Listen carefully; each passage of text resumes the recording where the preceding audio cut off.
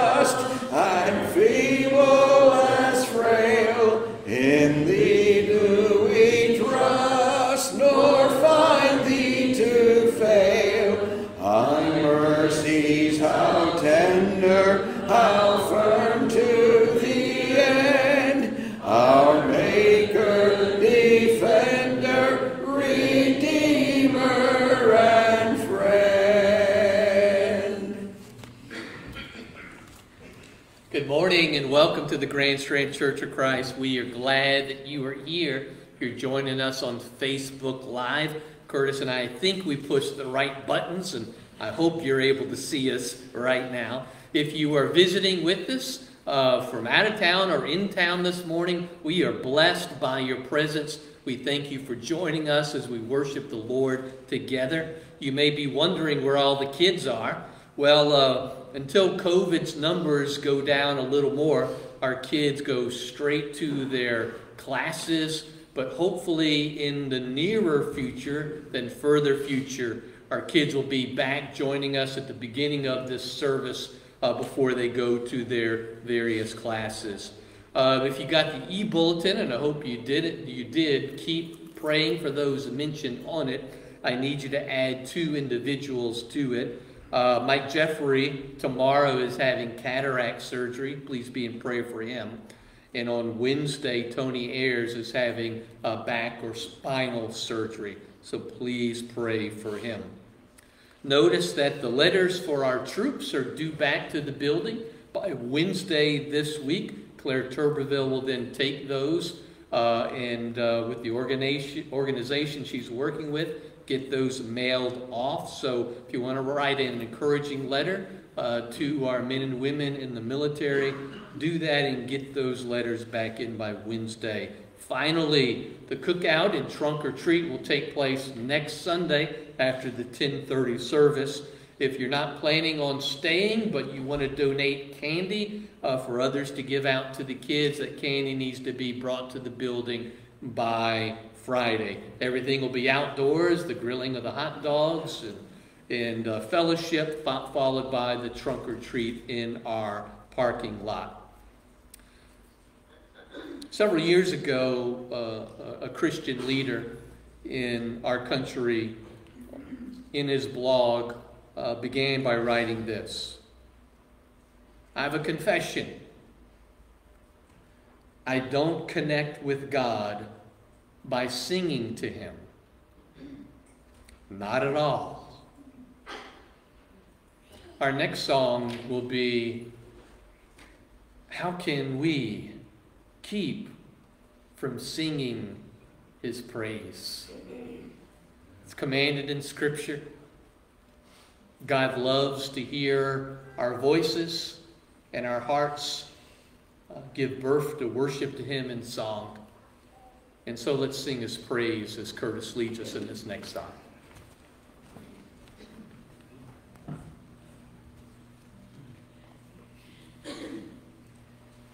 There is an endless song echoes in my soul. I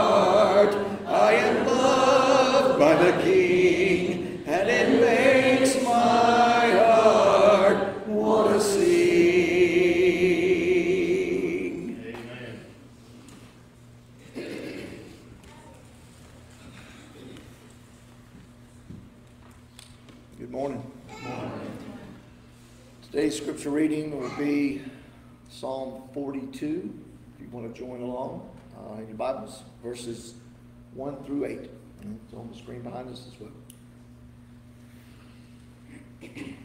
As the deer pants for streams of water, so my soul pants for you, O God.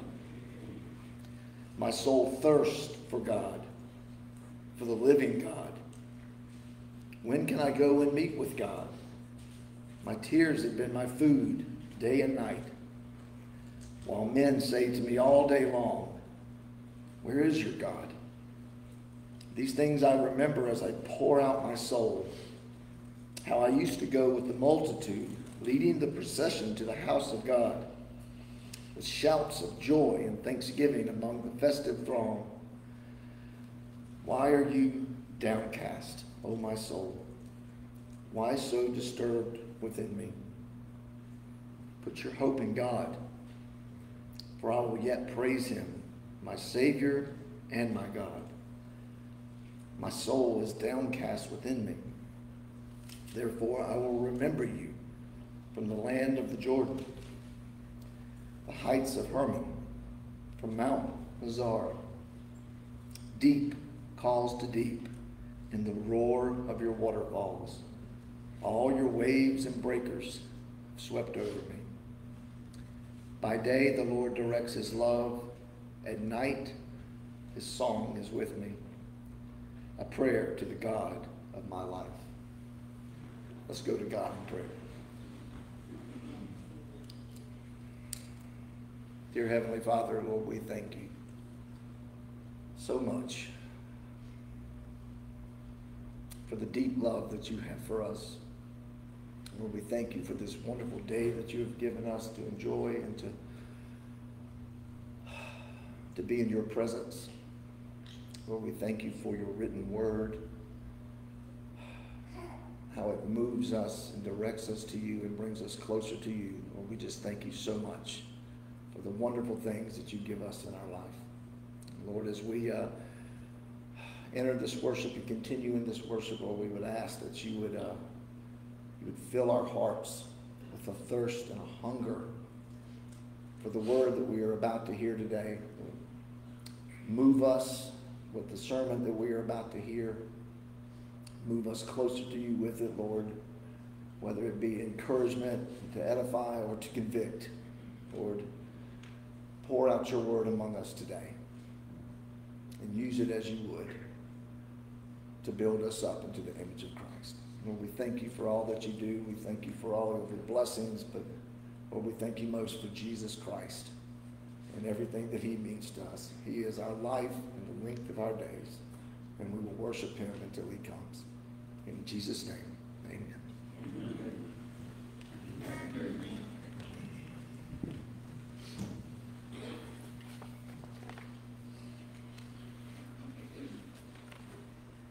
Would you stand with me, please, as we sing this next song? There is a habitation built by the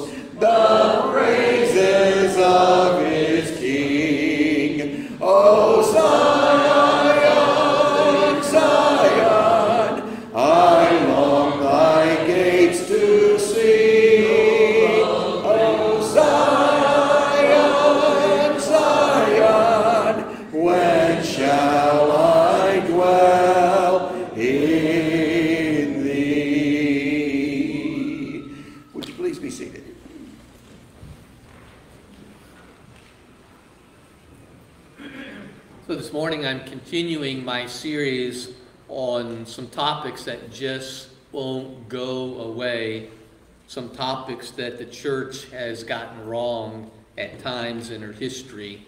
And the topic uh, for us to focus on this morning is, in fact, church. A good friend of mine was raised in the church where if you ever missed a church service, your faith was suspect and your salvation was in jeopardy because you were choosing the world over God. His family never missed a Sunday morning, a Sunday night, and a Wednesday night. And back in this time when there were gospel meetings, and there were at least two a year, they could last anywhere from four nights to two weeks, and his family would be there every time. As a 12 year old, he was the pitching star on his baseball team, and the championship game fell on a Wednesday night. His parents refused to allow him to participate in that game and made him go to church. And even well into his adult years, he still harbors some resentment about their decision that night. Well, as you know, uh, we are people that seemingly swing from one extreme to another. And so there's that extreme that he was raised in, and there is the extreme that we're presently living in right now, where many Christians acclaim they can follow Jesus without any connection to Jesus' church. In our nation, there's still about 7% of Americans who identify as Christian, but less than 30% of Americans who identify as Christian who attend a church with any kind of regularity. And so Christians who love Jesus uh, but do not connect with the church are prone to say things like, um, I'm spiritual but not religious. Or I like Jesus, but I just don't like the church. And with sentiments like those, especially even among uh, Christian thought leaders uh, in our country uh, who love Jesus but have no connection to church whatsoever, uh, there's no wonder that the church is in sharp decline, not just in America, uh, but throughout most of the world. You know you're in trouble as a local church when, when self professed Christian leaders uh, have rejected the church and influence other Christians to reject the church as well. So here are some of the common reasons for why uh, Christians say they don't go to church. Number one, I can practice my faith in other ways without having to go to church.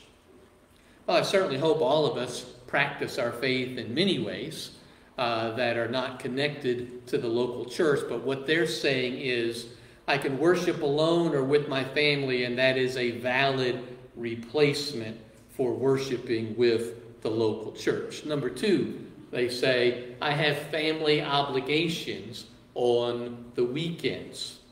And certainly in the course of my lifetime, uh, those family obligations over the weekend has certainly amped up in our busyness and our activity. But, but I would caution us to remember that our first family, according to Jesus, is the spiritual family. Jesus said, Who are my mothers and my brothers? They're my disciples. And so while we have physical family obligations on the weekends, I would say we also have first family or spiritual family obligations on the weekends that are important to remember. A third, Christians say, I can't find the church I like, for I've been hurt by the church. I don't doubt the truthfulness of that story.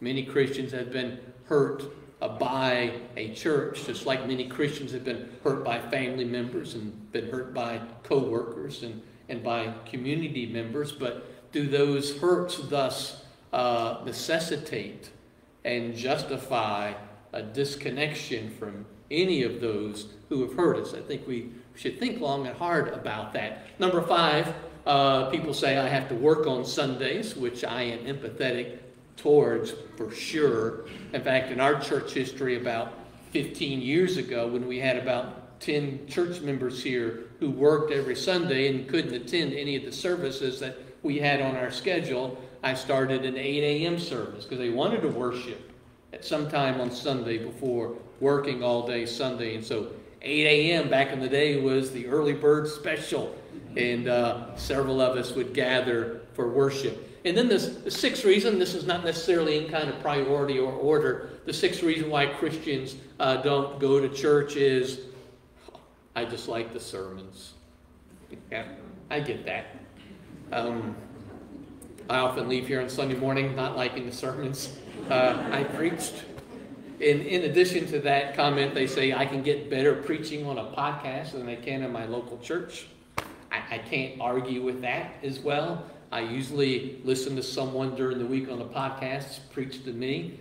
And uh, I would just ask us to consider if the quality of the sermon is really the point of church life, the beginning and end of church life. So there was a time when the word unchurched referred to unbelievers, people who didn't follow Jesus. But now the word unchurched can also refer to Christians who simply have rejected the church. And as a result, many Christians are living in isolation from each other. Now, I've, I've told you this many times before, so here's your test question for the day. You fill in the blank, all right? The enemy's plan is isolation. God's solution is connection. I think a couple of you get an A plus. I'm not sure about the rest of you. Maybe it's me. Maybe I'm just not preaching good enough. But anyway, uh, that story is as old as the Garden of Eden, where the enemy isolates Adam and Eve from God. And the enemy isolates Adam and Eve from each other.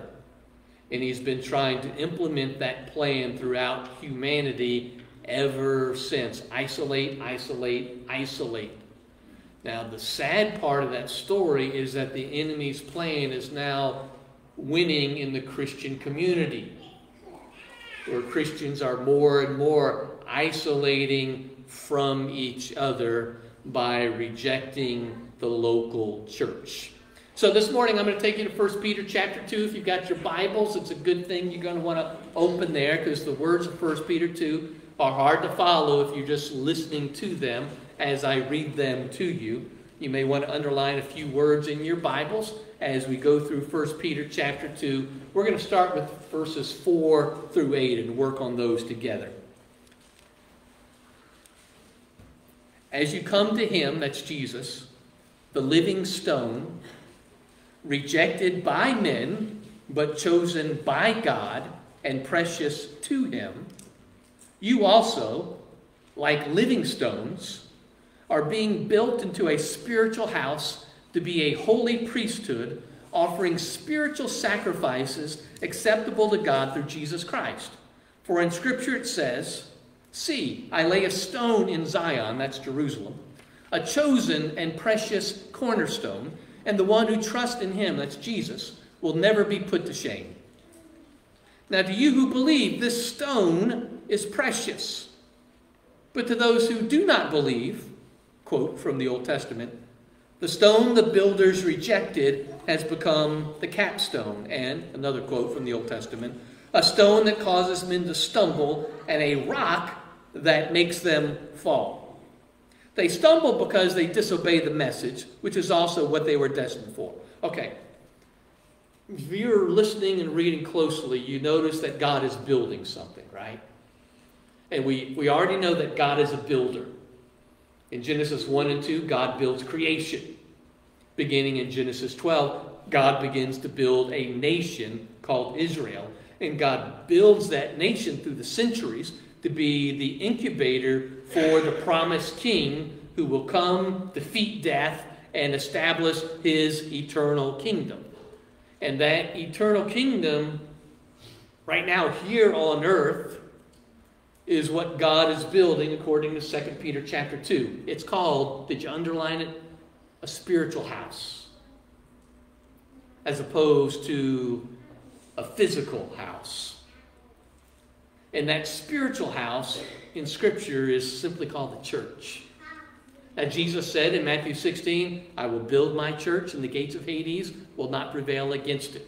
So Jesus is all about building his church on this planet.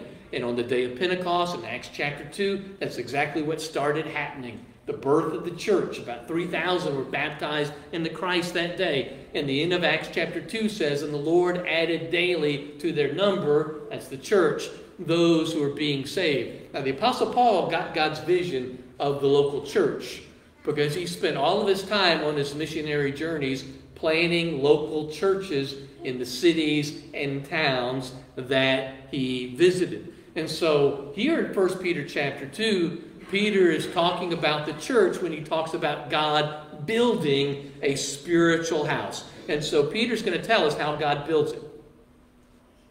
He builds it first with what is called the living stone. Now Peter likes that word living. He's used it twice in 1 Peter chapter 1. He talks about our living hope through the resurrection of Jesus Christ.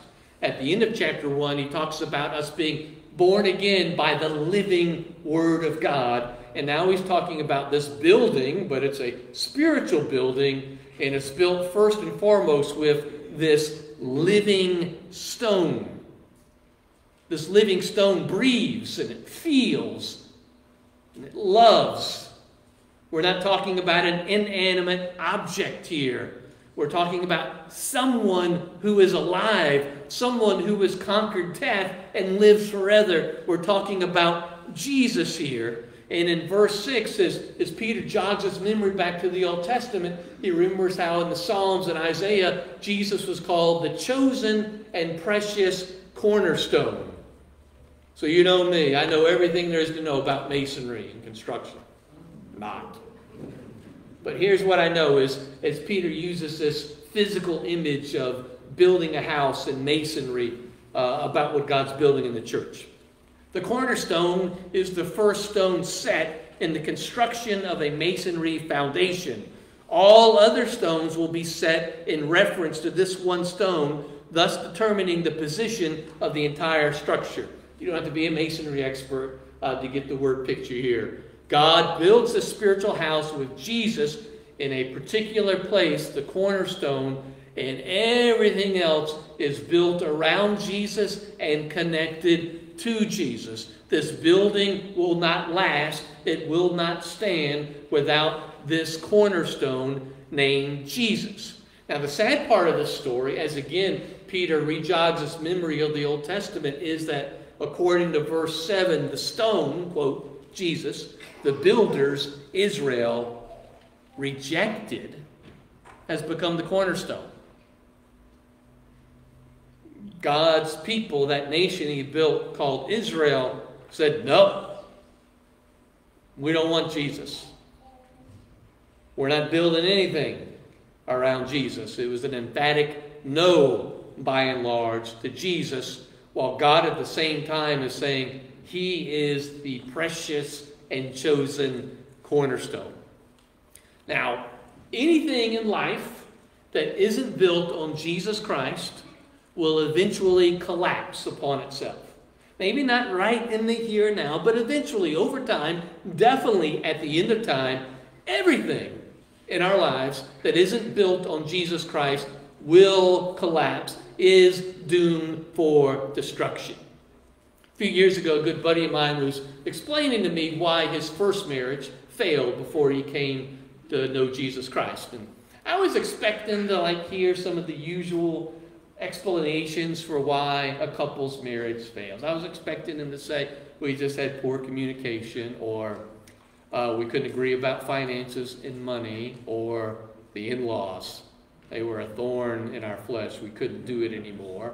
Or irreconcilable differences. That's why our marriage ended. He didn't, he didn't give me any of those. This is what he said. He said, My marriage failed because Jesus wasn't a part of it. There you go.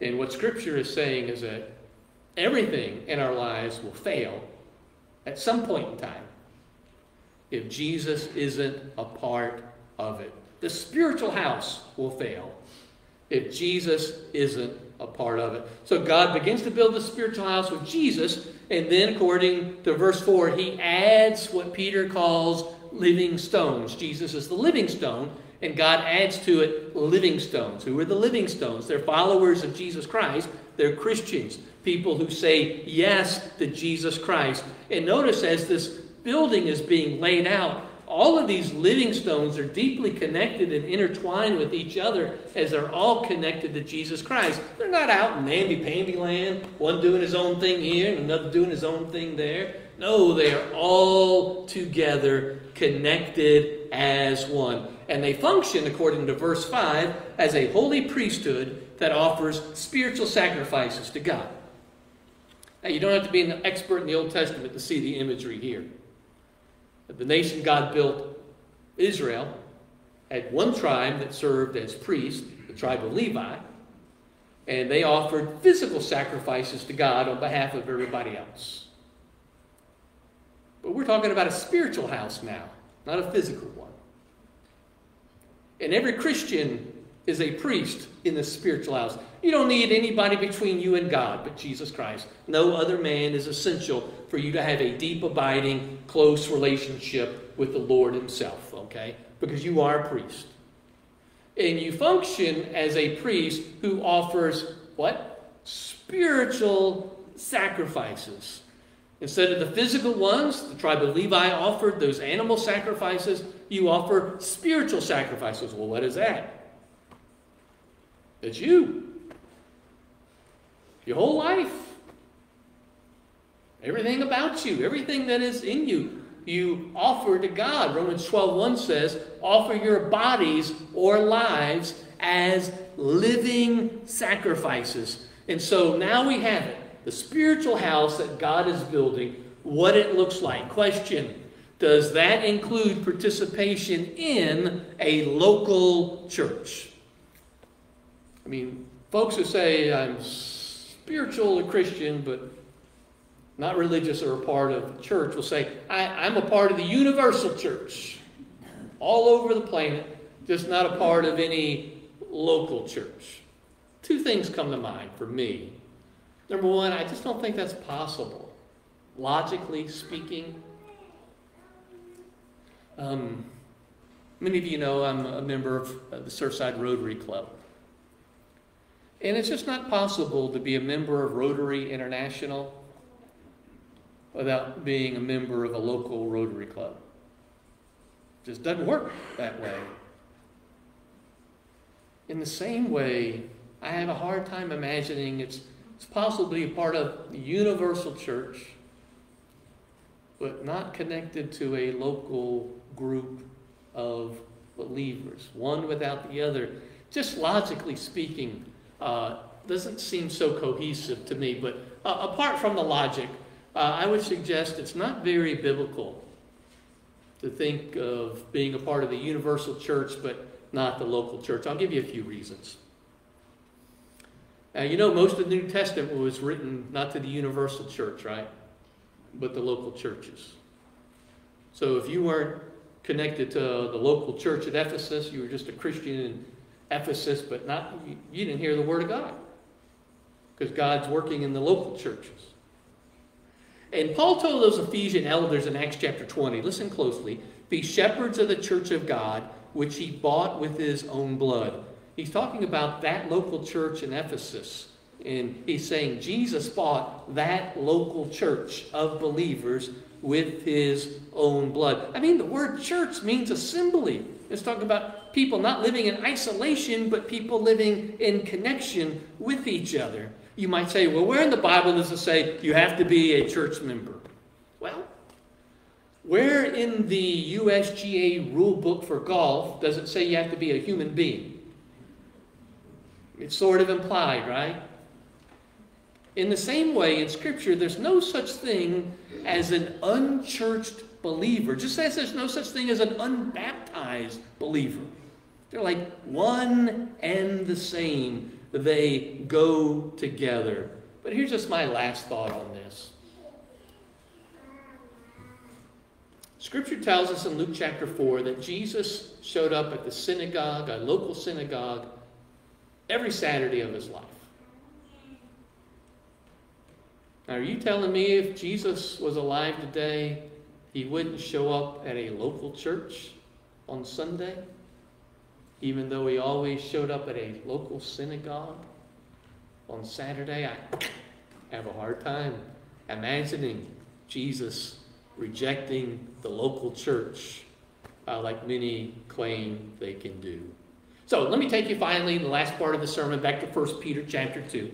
We've seen how God is building a spiritual house with Jesus and his followers. Now, in verses 9 through 12, we'll get a little more detail in regards to how the local church functions. Here it is.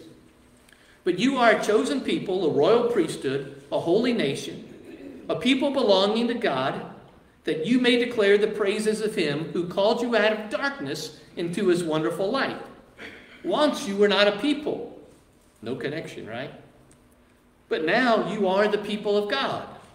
Once you had not received mercy, but now you have received mercy. Here's the closer. Dear friends, I urge you, as aliens and strangers in the world, to abstain from sinful desires which war against your soul. Live such good lives among the pagans that, though they accuse you of doing wrong, they may see your good deeds, and they can't argue, argue what they see. They may see your good deeds and glorify God on the day He visits us. So God's building this spiritual house, and this spiritual house plays an important role in the functioning of God's story in the world. So I'll close with like two reasons why I think Christians should go to church. And it's not to check a box off, like maybe it was at certain points in church history. Christians should go to church, number one, because they are the church, man.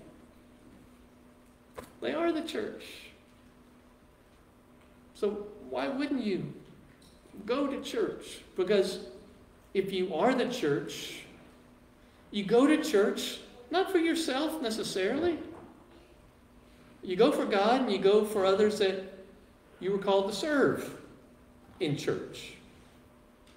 To encourage and exhort and be present, be available.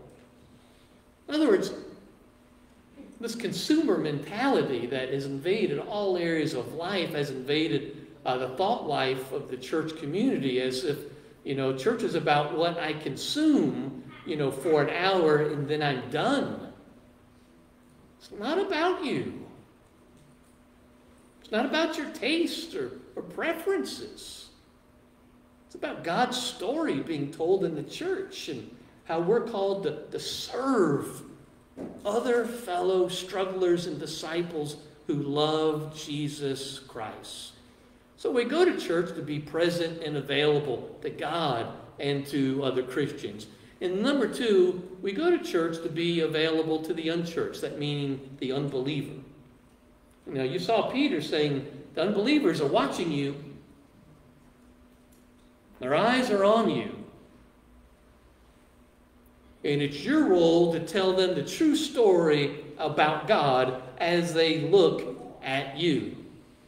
And that's a 24 7, seven day a week sort of job. But we go to church also to create space for the unbeliever in our community, to give them an opportunity to seek if they're so inclined, if God is, is pulling them, because chances are they're not going to show up at your door at home in your neighborhood. Sometimes we get fortunate like that, but by and large, if you don't know them, where are they going to go, right? If they're spiritually inclined, they're going to go to a local church, and we need to go to church to be available to them, to love them, listen to them, and share Jesus with them. So, some of you know I'm a part of the recovery community, have been for years. And you know, when you, when you go to weekly meetings, you run across people who haven't struggled necessarily or given way to their area of struggle in a long time, like an alcoholic who hadn't had a drink of alcohol for 30 years, drug addict who hasn't used an illegal drug for 20 years. And sometimes someone will ask him or her, oh, What do you keep coming to these meetings for? You hadn't had a fall in decades, man. And one of the answers is, I come for the newcomer, among other I haven't arrived in perfection yet. But I also come so that if there is a newcomer who's just getting started in recovery, I can be here to help him or to help her and walk hand in hand together. That's sort of why we come to church as well. To be available for whoever God has brought into our midst, to walk with them as we all walk closer to Jesus. So, yeah, the church has gotten some things wrong about going to church.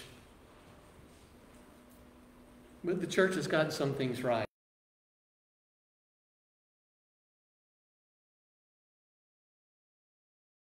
His plan is isolation, and it's the plan he's been working since the beginning of time. May we be a church that offers connection to each other and to the unbeliever as we love Jesus and worship Jesus together. We're going to offer a song of decision right now. If there's something going on in your life, maybe not even related, possibly or probably, to what I've been talking about today, but you know you need to ask for prayer before you leave here this morning. You know you can't face what you're about to face this week without people praying for you, without someone else knowing what you're going through and being present to support and encourage you. Or if you're someone who's never been baptized into Jesus and received His grace and forgiveness, and you're ready for that right now, I invite you to come as we all stand and sing this psalm together. I'll be waiting for you up front. I hear the Savior say, Thy strength indeed is small, child of weakness watch and pray. Find in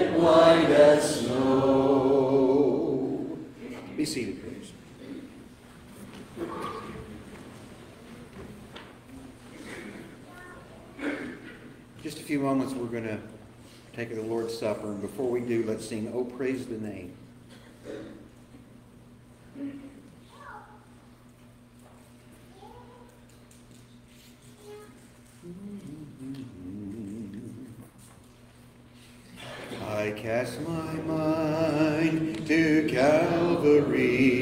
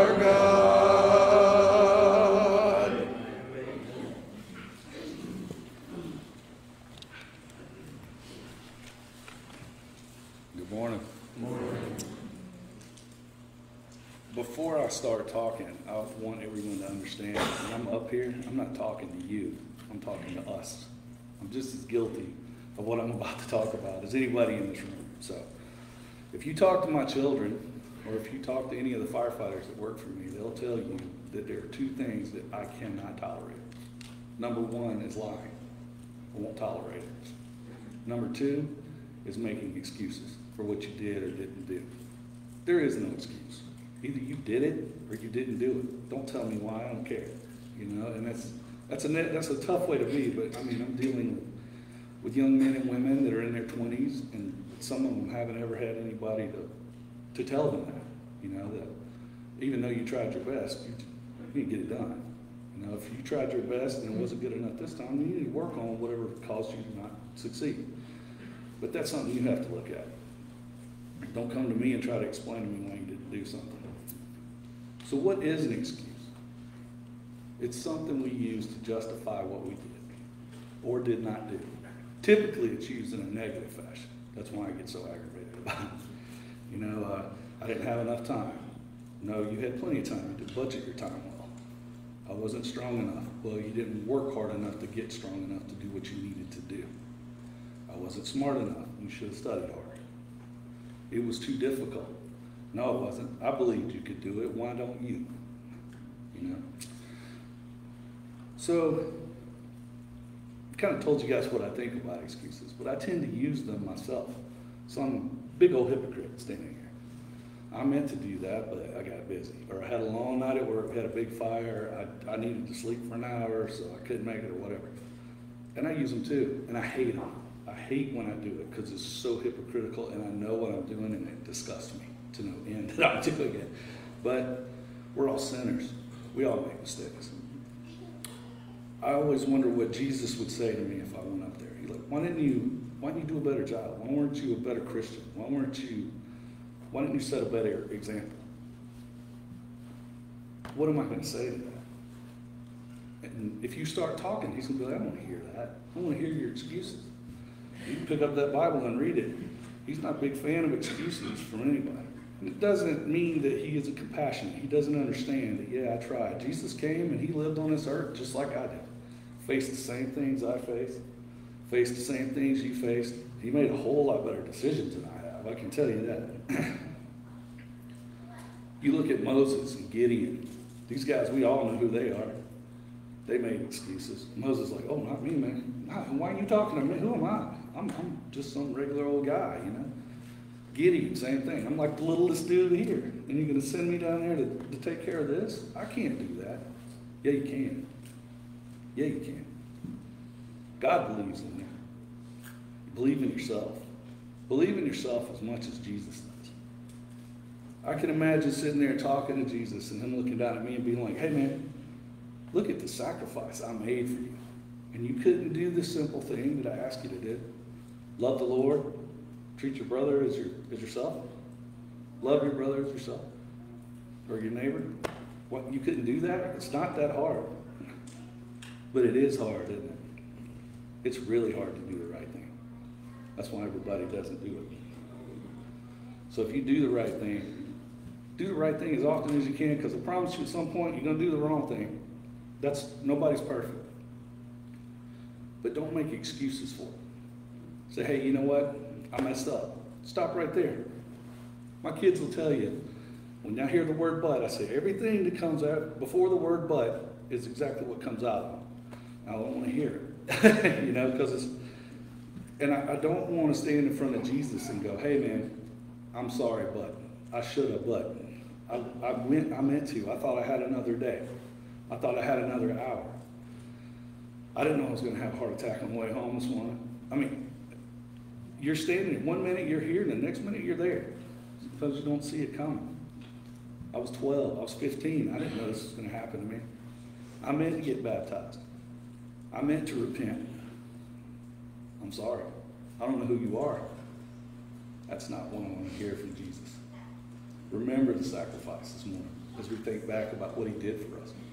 And don't disappoint him. He doesn't ask a whole lot out of us. And I don't think any matter, no matter what we do, we're not going to live up to what Jesus did while he was here. We're not going to be that good. But be the best you can. love each other, help each other, invite people to church, talk to them about Jesus. It's just one of those things where you just do the best you can absolutely do so you don't have to make excuses. As we pray for the cup this morning, think back to Jesus' blood that bought us and, and brought us to, to hope and, and helped us have hope for eternal life. And we'll do a prayer for the bread, and then we'll do a prayer for the cup. Would you bow me? Father, as we partake of this bread it represents Jesus' body, I ask you to help us remember what it represents and sacrifices that were made and what it means to be a Christian. And Father, I ask that if there's one out there that we haven't reached, please, please let us be able to talk to them. Bring them here. And Father, help us to be good witnesses. Help us to be good examples. And help us to take this in a manner that's pleasing to you. In Jesus' name. Amen.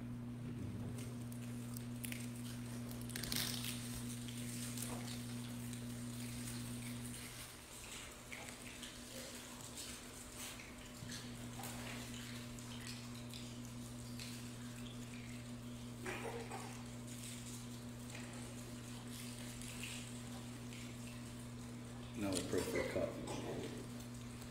Father, we thank you for the, for the church family we have this morning. Father, we thank you for this remembrance, this time of remembrance. We ask that you'll guide our thoughts and our minds. Help us to remember the sacrifice that Jesus made for us. Father, that we are no way worthy of being in your presence or in your kingdom, but we are so very thankful for your Son that has allowed that to be possible. Father, we ask that we take this in a, in a manner that's pleasing and, and that means something. And Father, we thank you for your blessings on us and all of this church family. And we ask all these things in Jesus' name. Amen.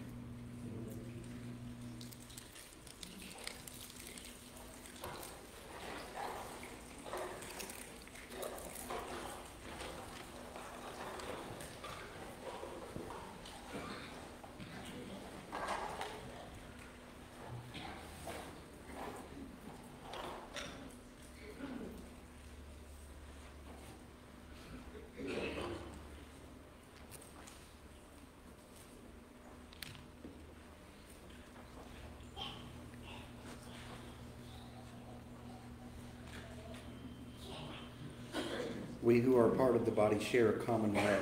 Let's sing about that now. A common love for each other, a common gift to the Savior,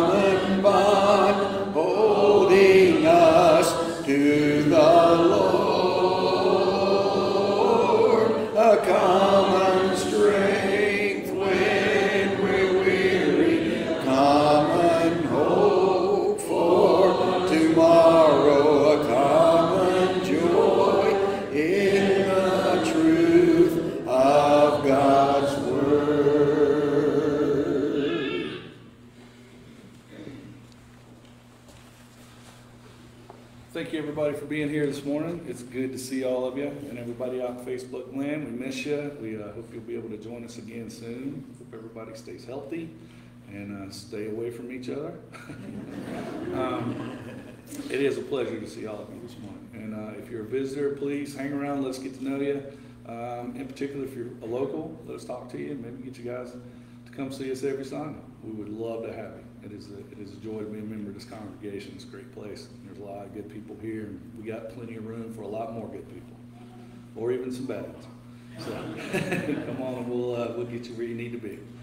Uh, there are boxes out back if you guys wish to contribute. Out, uh, you'll see them on the sides on the, of the aisles on the way out. Um, and again, I hope everybody has a safe trip home. We'll see you again next week, and everybody just uh, be good to each other. And uh, if you'll pray with me, we'll be dismissed. Father, thank you for this morning. We thank you for the beautiful day that you've given to us out there. Lord, we thank you for all these wonderful people gathered here today. We thank you for the for the love in this room and, and the love out there in, in the world. You know, Lord, there's we tend to focus on all the bad stuff. Sometimes we lose sight of the good. And Lord, we thank you for blessing us with a congregation and a, and a minister and leaders that, that guide us and, and bring joy to us and, and preach your word, Lord. Sometimes it's tough to hear things. And uh, sometimes we're talking to ourselves as much as we are everybody else. And just help our hearts to be open, our minds to be open, to put Jesus first, and remember the sacrifice that he made. And understand that he is for everyone. He's not just for Christians, he is for everyone. And Father, we thank you for your blessings in this in this congregation. We thank you for those blessings in our lives. We ask you to please grant us safety and bring us back home soon. Lord, we thank you for all that you do in Jesus' name. Amen.